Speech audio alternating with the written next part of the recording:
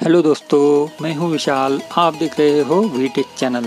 दोस्तों, आज की इस वीडियो में मैं आपको बताऊँगा कि हम फ़ोन चार्ज करते वक्त कौन कौन सी गलतियाँ करते हैं, जिसकी वजह से हमारे फ़ोन का परफॉर्मेंस कम हो जाता है, बैटरी लाइफ कम हो जाती है, और हमें फ़ोन दिन में दो बार या तीन बार चार्ज करना पड़ता है। अगर आप भी ऐसी गलतियाँ करते हो तो ये वीडियो देखिए और अपनी गलतियों को सुधारें, ताकि आपके फ़ोन का परफॉर्मेंस बढ़े और आपके फ़ोन की बैटरी लाइफ भी अच्छी हो जाए। तो दोस्तों, सबसे पहली और बड़ी गलती हम ये करते हैं कि हम हमारा मोबाइल किसी भी चार्जर से चार्ज करते हैं। दोस्तों, आजकल हमारे घर में सभी के पास मोबाइल्स होते हैं और उनके अलग अलग चार्जर्स होते हैं। तो दोस्तों, हम करते क्या है कि कोई भी चार्जर लेते हैं और हमारा फ़ोन चार्ज कर देते हैं उससे। तो दोस्तों, ऐसा कभी ना करें। आपके फ़ोन के साथ जो चार्जर मिला है कंपनी का, उसी से आप फ़ोन को चार्ज कीजिए। इससे होगा ये कि आपके बैटरी को सही सप्लाई मिलेगा, सही करंट मिलेगा और बैटरी लाइफ काफ़ी अच्छी रहेगी और इससे आपका फ़ोन का परफॉर्मेंस भी अच्छा रहेगा। तो कभी भी अलग मोबाइल चार्जर से मोबाइल को चार्ज ना करें। और दोस्तों, दूसरी गलती हम ये करते हैं कि हम जब भी मोबाइल चार्जिंग पे लगाते हैं तो उस पर गेम खेलते हैं। गाने सुनते हैं या वीडियो देखते हैं तो ऐसी गलती कभी ना करें, जिसकी वजह से आपकी मोबाइल की बैटरी जल्दी चार्ज नहीं हो पाएगी और उसका परफॉर्मेंस भी कम हो जाएगा। उसे चार्जिंग के लिए भी काफ़ी समय लगेगा और बैटरी ज़्यादा देर तक चार्जर से कनेक्ट रहने से बैटरी की लाइफ भी कम हो जाएगी। तो ऐसा ना करें, आप कभी कभी भी मोबाइल को चार्ज करते समय उसे ऑन ना रखें। और जब भी आप मोबाइल चार्ज करोगे तो हो सके तो उसको एयरप्लेन मोड में डाल के, ऑफलाइन मोड में करके मोबाइल को चार्ज करें। इससे होगा ये कि आपका मोबाइल जल्दी चार्ज होगा और उसकी बैटरी लाइफ भी अच्छी मिलेगी।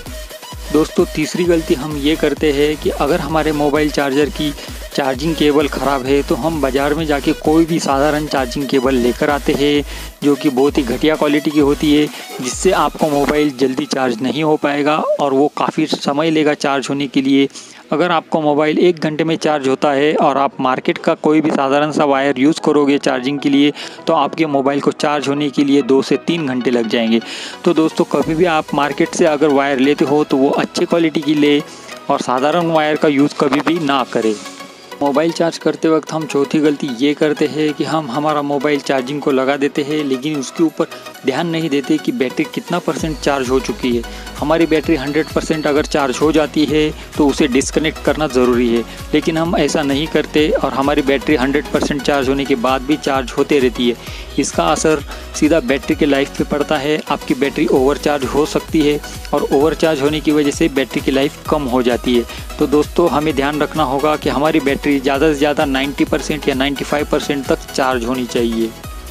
दोस्तों, और आपका मोबाइल अगर फास्ट चार्जिंग को सपोर्ट नहीं करता तो आप उसके साथ फास्ट चार्जिंग का चार्जर लगा के बैटरी कभी भी चार्ज ना करें। इसका सीधा असर होगा आपके बैटरी पे, और आपकी बैटरी जल्दी ख़राब हो सकती है। दोस्तों, अगर आपका मोबाइल सपोर्ट करता है फास्ट चार्जिंग को तो ही आप फास्ट चार्जर का उपयोग करें। नहीं तो आपके मोबाइल के साथ जो चार्जर मिला है, उसी से आप बैटरी चार्ज कीजिए। इससे आपकी बैटरी की लाइफ बढ़ेगी, और आपको परफॉर्मेंस काफ़ी अच्छा मिलेगा। तो दोस्तों, ये थी कुछ टिप्स मोबाइल चार्जिंग के बारे में। अगर आपको अच्छी लगे तो मेरे वीडियो को सब्सक्राइब करो, लाइक करो, शेयर करो। मिलेंगे अगली वीडियो में, तब तक के लिए बाय बाय।